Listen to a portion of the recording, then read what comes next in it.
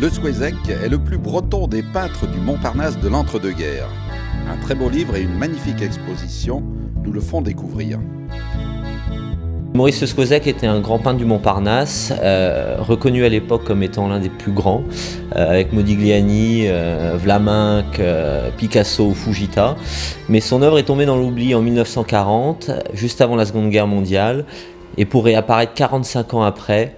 Donc aujourd'hui c'est une vraie redécouverte, et on a un peintre qui a été non seulement un grand peintre de Montparnasse, mais également un grand peintre de l'Afrique parce que euh, sa terre de quête, c'était Madagascar, le Soudan, le Niger. Et donc euh, en dernière période, on a la période bretonne euh, de l'Osquezec, le retour aux sources et Douarnenez avec une œuvre plus mystique et à la fois très lumineuse et très pleine d'humanité.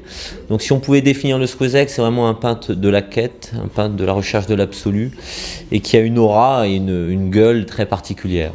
Donc c'est l'histoire d'une redécouverte euh, de près de 3000 œuvres et qui est absolument unique dans, l'histoire de la peinture moderne.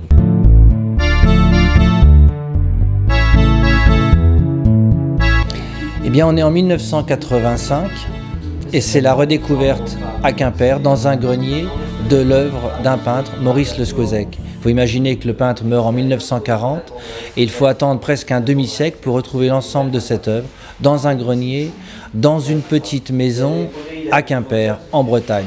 Pourquoi euh, cette différence de temps entre la mort du peintre et la découverte de l'œuvre? C'est tout simple. Le peintre meurt dans la misère en 40, sa femme met toute l'œuvre dans un grenier, dans les cartons. La plupart des œuvres sont des œuvres sur papier, qui sont rangées en carton, même les huiles sont sur papier. Et ce n'est qu'à la mort de cette femme, Mathilde, la femme du peintre, que le fils du peintre, Gwenland Le va redécouvrir toute cette œuvre. Un demi-siècle, un demi-siècle d'oubli. Mais finalement, chronologiquement, il y a un premier oubli. C'est l'entre-deux-guerres. Quand tous les peintres du groupe de la Rotonde vont se faire connaître entre, la Première et la Deuxième Guerre mondiale, Le Squezec, breton, breton du Montparnasse, est en Afrique, est en voyage. C'est un des grands peintres aventuriers. On l'appelle l'Africain du Carrefour Vavin. Et il n'est jamais là. Quand les réputations se font, au moment où les réputations se font, lui, il n'est pas là. Première disparition. Et donc cette fameuse deuxième disparition, 50 ans d'oubli de l'œuvre tout entière, ou pratiquement tout entière, dans un grenier. Voilà pourquoi cette œuvre qui a presque 100 ans est aujourd'hui si neuve aux yeux du grand public et aux yeux des collectionneurs c'est qu'on commence à peine à la découvrir et petit à petit, de redécouverte des articles de l'époque en euh, journaux, livres et références, on s'aperçoit que c'était une figure essentielle du Montparnasse. Cette figure qui réapparaît et que l'on va redonner à voir dans l'exposition de la mairie du 6e arrondissement cet été.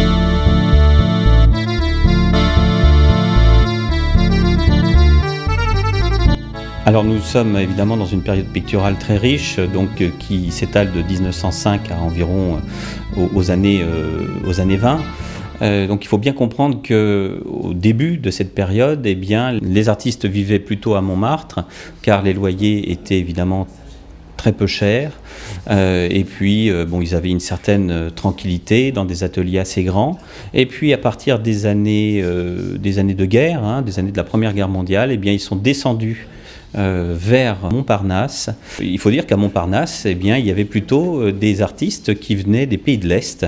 Donc, euh, contrairement à ce qu'on pense, à Montmartre, eh bien, les Latins faisaient du cubisme plutôt, je dirais, avec des couleurs un petit peu rigoristes. Et par contre, les Slaves, qui venaient de pays peut-être plus froids, eh bien, avaient envie de travailler la couleur dans toute sa palette et donc effectivement à Montparnasse, nous avions des comment dire des couleurs très très vives avec euh, Soutine, euh, Kisling et effectivement Maurice Le Squezec, Maurice Le Squezec qui est donc le plus breton euh, des Montparnasse, euh, donc un, homme qui, avant de venir à Montparnasse, avait beaucoup voyagé et, effectivement, comme on l'a dit, qui était passionné par, l'Afrique et qui, d'une certaine manière, était devenu un petit peu l'exégète de l'Afrique, il était devenu euh, le peintre des Outre-mer et il a été d'ailleurs considéré comme tel. Donc, ce qui est intéressant avec Maurice Le c'est qu'il fait partie évidemment de la bande de Montparnault, avec, avec Kisling, avec comment dire avec Fujita, euh, avec, avec tous ces artistes, Ortiz de Zarat. Et euh, il faut bien comprendre qu'il euh, y avait une communauté, même si quelquefois il y avait des, des joutes je dirais picturales, eh bien, il y avait vraiment une communauté d'artistes, des gens qui s'entraidaient, qui, comment dire, essayaient de, comment dire, de survivre et, d'une certaine façon, de créer un nouveau courant pictural.